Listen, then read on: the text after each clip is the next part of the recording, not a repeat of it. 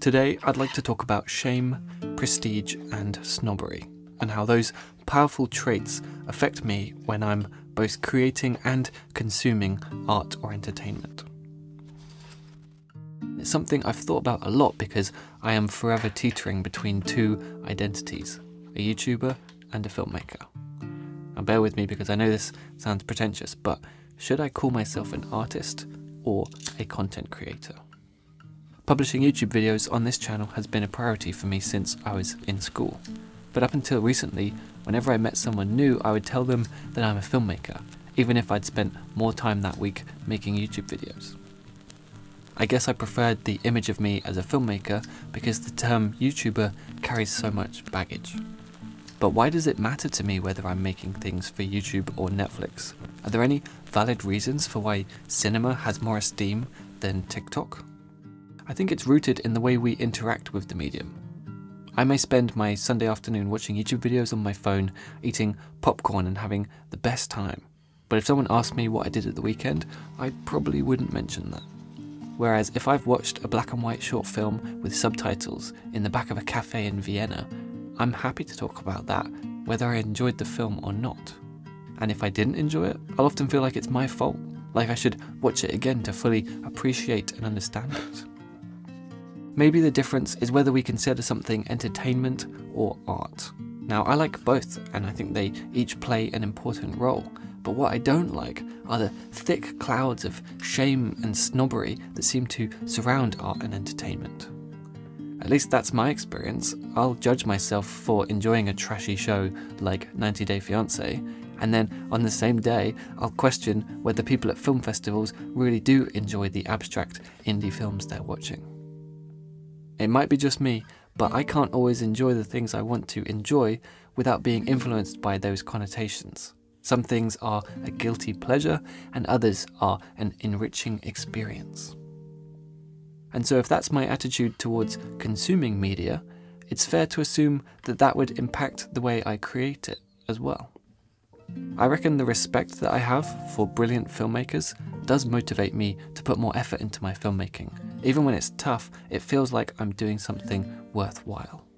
But if I'm not careful, I can elevate the craft of filmmaking, the art of filmmaking, so much that the pressure I'm putting myself under stops me from making anything at all.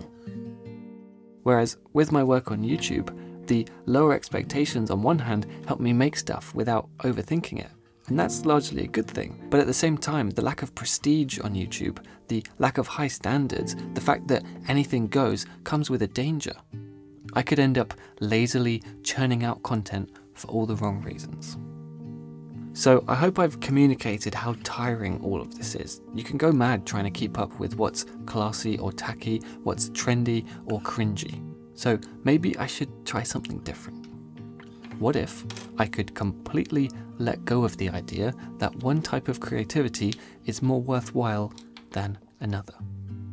I could watch reality TV and then go to an art gallery, simply enjoying both experiences and then I could just focus on making good stuff, whether it's for YouTube or something more prestigious. Surely, as long as I've made something and given it my all, I'd be winning. Now, I am aware that at this point in the video, you may be seeing me as neither an esteemed artist nor a vapid content creator, but something in between. A pretentious content creator, and that might be even worse. But you know what? That's okay. I am a YouTuber, I am a filmmaker. I don't need to win an Oscar or get a billion views, I just want to make good stuff. I'm sure that will keep me plenty busy anyway.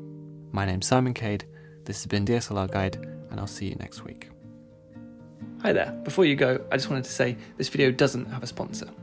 For the past few months, I've been using the time I would normally spend negotiating with brands to just focus on making more videos. But without sponsorships, DSLR Guide is in no way financially sustainable. I've got bills to pay, but also I've hired lovely people to help me make these videos. For example, I think this one was a team of about five people. So it's way more fun to collaborate than just doing everything myself. Anyway, my point is that I've started a Patreon with one simple goal to make more DSLR guide videos that I can release for free on this YouTube channel. I really love sharing what I've learned about filmmaking and creativity. So if you'd like to chip in and help make DSLR Guide financially sustainable, then please do click on this big button to find out about the extra stuff that patrons get access to. Or you can click the link in the description down below, whichever's easiest. But obviously, you know, no pressure. Do what you like. Okay, yeah, you get it. Bye. Um, oh, and thank you, thank you, thank you, thank you, thank you. So it's when the